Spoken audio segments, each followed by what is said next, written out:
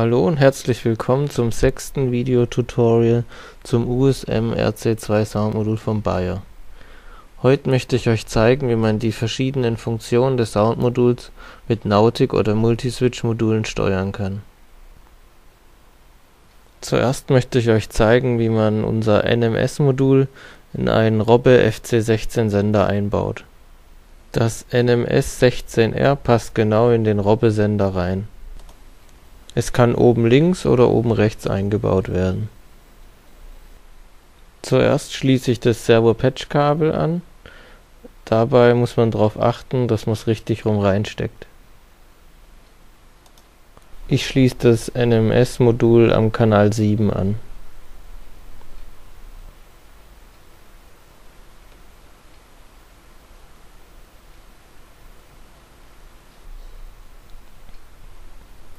Dann muss ich noch das schwarze Sync-Kabel einstecken.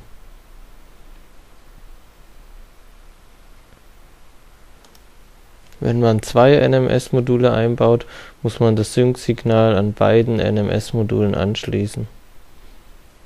Dazu kann man dann ein Kabel von einem zum anderen verbinden. Das Modul ist jetzt fertig angeschlossen und wir können die Fernsteuerung einschalten und mal testen.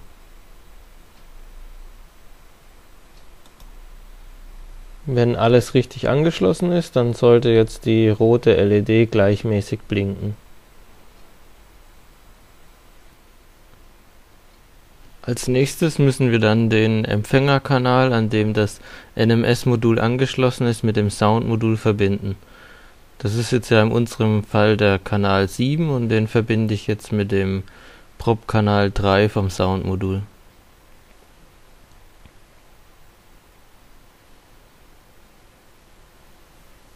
Es wird kein zusätzlicher Decoder benötigt, weil das Soundmodul die Aufgabe des Decoders übernimmt. Jetzt müssen wir das Nautic noch aktivieren im Soundteacher. Dazu starte ich den Soundteacher, gehe dann auf äh, Konfiguration Nautic 1 und setzt dann einen Haken bei Nautic 1 auf Prop 3 aktivieren. Dann wähle ich noch unter Typ aus, welches äh, Multiswitch-Modul wir verwenden. Das ist jetzt das NMS 16R.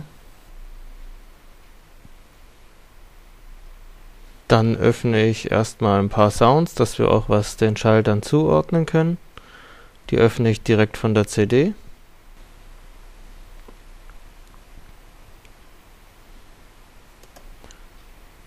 Die Sounds liegen im Ordner USM RC2 Sounds.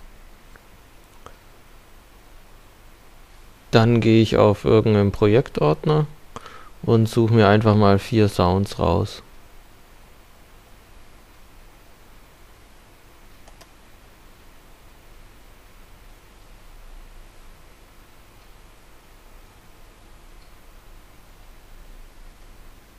Dann habe ich den Zusatzsounds 3 bis 6 habe ich jetzt Sounds zugewiesen. Und die können wir dann wiederum irgendwelchen Schaltern zuweisen. Ich nehme jetzt mal die ersten beiden Schalter. In dem neuen Funktionsauswahlmenü habt ihr auch einen guten Überblick, was es alles für Funktionen gibt. Hinter unseren Zusatzsounds 3 bis 6 ist jetzt auch beschrieben, welcher Sound da genau sich drin befindet in dem Soundslot. Jetzt habe ich die vier Zusatzsounds zugewiesen, jetzt will ich noch ein paar Ausgänge zuweisen. Dazu müssen wir die Ausgänge erstmal konfigurieren. Den ersten Ausgang konfiguriere ich als statisch. Den zweiten mache ich mal blinkend. Lasse es ein bisschen langsamer blinken.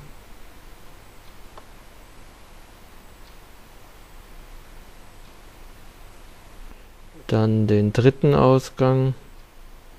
Da nehme ich mal einen Blinker links. Den vierten nehme ich einen Blinker rechts. Auf den fünften Ausgang lege ich mal das Nebelschlusslicht. Und auf den sechsten Ausgang lege ich mal ein Abblendlicht. Dann gehe ich wieder auf Nautic 1 und weiß jetzt ähm, den Schaltern wieder Funktionen zu. Einmal den Ausgang 1, den haben wir ja als statisch definiert. Dann den Ausgang 2, den haben wir als blinken definiert. Dann haben wir noch Blinker links.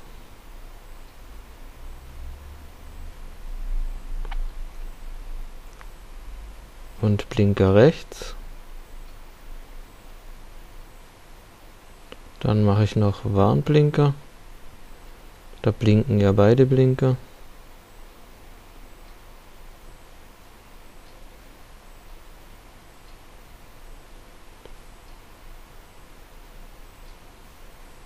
Blendlicht.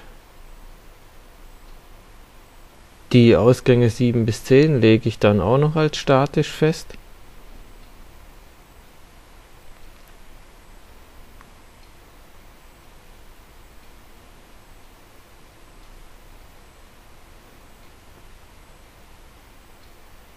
Dann belege ich noch die restlichen Schalter mit den Ausgängen 7 bis 10.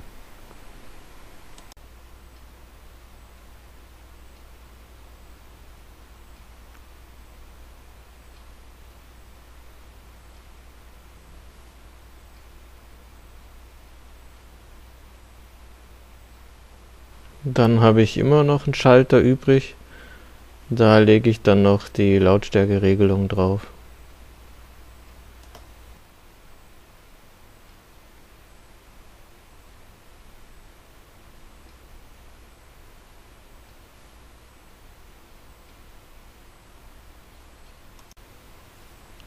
Anschließend schalte ich dann noch bei den ganzen Ausgängen die Memory-Funktion ein.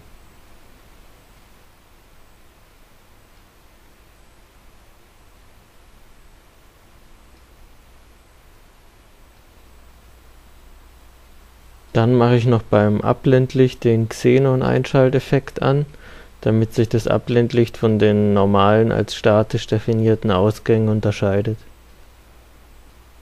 Dann ist alles erledigt und jetzt können wir das Projekt auf der SD-Karte speichern. Dann gehe ich wieder zu unserem Aufbau. Ich habe jetzt noch einen Lautsprecher angeschlossen und eine kleine Platine mit Leuchtdioden, um die Ausgänge zu testen. Dann schalte ich die Fernsteuerung ein und danach das Soundmodul.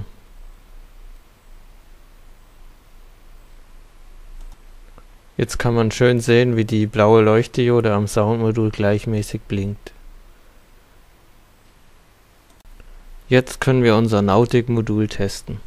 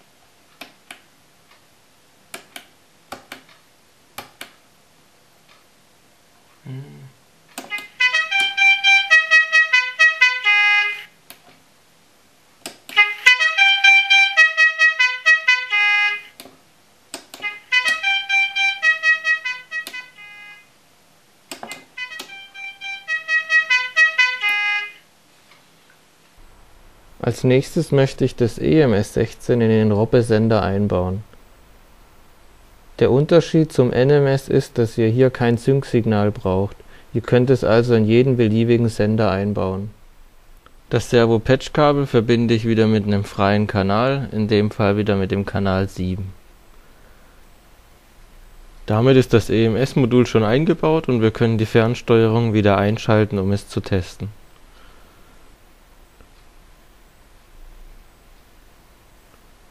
Die rote LED auf dem Modul muss wieder gleichmäßig blinken.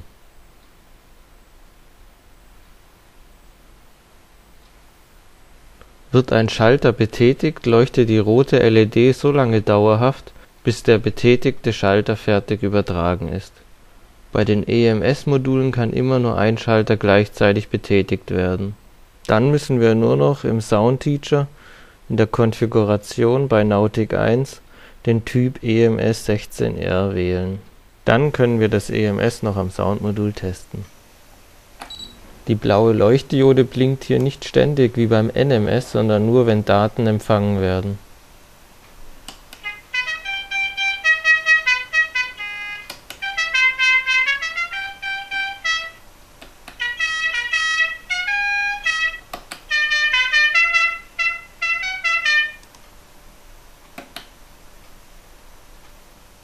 Umso höher die Schalternummer ist, desto länger braucht die Übertragung.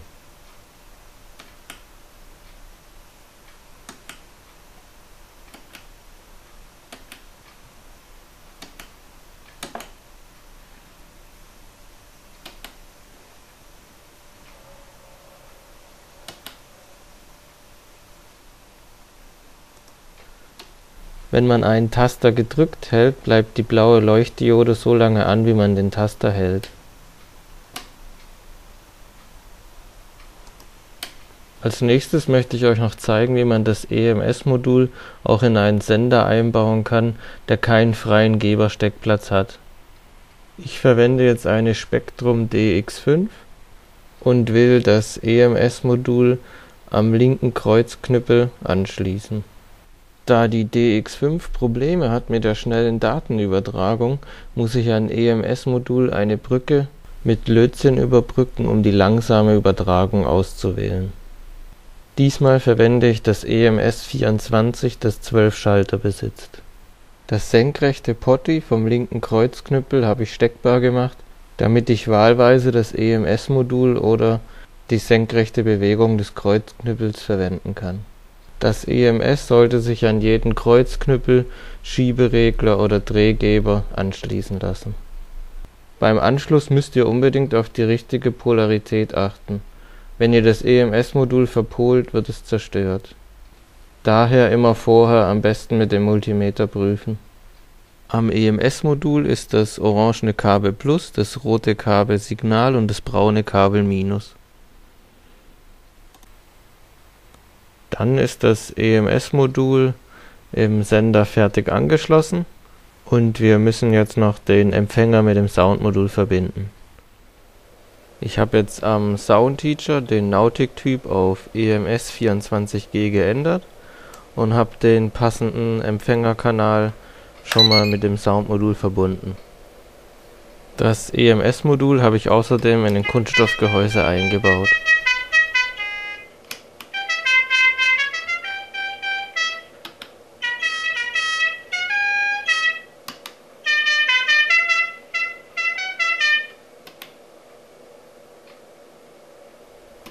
Gerade bei den höheren Tastern sieht man jetzt, dass die Übertragung etwas langsamer ist als vorher bei der Robbe-Fernsteuerung. Das seht ihr auch daran, dass die blaue Leuchtdiode langsamer blinkt. Zum Abschluss möchte ich euch noch zeigen, wie ihr die EMS-Module auch ohne ein Soundmodul dekodieren könnt. Dazu zeige ich euch kurz unser MSD16 das MSD16 kann sowohl die NMS als auch die EMS-Module dekodieren. Es besitzt 16 Schaltausgänge und zwei Servoausgänge. Die Schalter können paarweise als Memory oder statisch konfiguriert werden. Auch die Servoausgänge lassen sich ganz individuell konfigurieren. Die Geschwindigkeit der Servos kann über die beiden Trimmer eingestellt werden Es lässt sich außerdem festlegen, ob die Servos automatisch in Grundstellung gefahren werden oder in ihrer Position stehen bleiben, wenn keine Funktion mehr ausgewählt ist. Damit bin ich am Ende vom sechsten Videotutorial. Bis zum nächsten Mal. Tschüss.